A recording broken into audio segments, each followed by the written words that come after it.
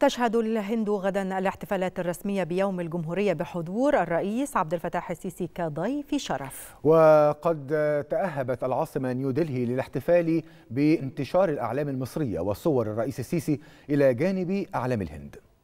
في هذا المكان ومن أمام بوابة الهند هذا المعلم الرئيسي بالعاصمة نيو دلهي. يستعد ما يزيد عن مليار و300 مليون هندي للاحتفال بيوم هام جدا في ذاكرة الشعب الهندي يوم الاحتفال بيوم الجمهورية. هذا اليوم الذي استبدل فيه الشعب الهندي والوثيقة وثيقة القانون الهندي التي صدرت 1935 بالدستور الهندي 1950 وفي هذا اليوم أيضا في السادس والعشرين من من يناير تم استقلال الهند إعلان استقلال الهند عن الاحتلال البريطاني. وكما نتابع هنا في هذا الممر الرئيسي الذي سوف تقام فيه الاحتفالات الكبرى بالهند نتابع العلم المصري يعانق علم الهند حيث تم دعوة مصر كضيف رئيسي للاحتفال بهذا الهام في ذاكرة الشعب الهندي.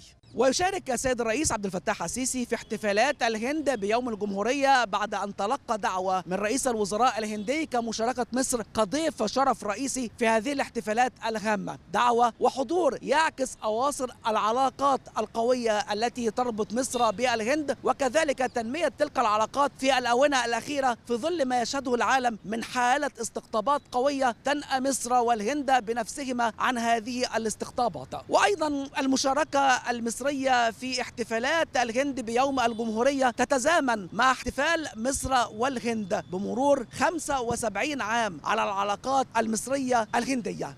من نيودلهي محمد عبد الله للتلفزيون المصري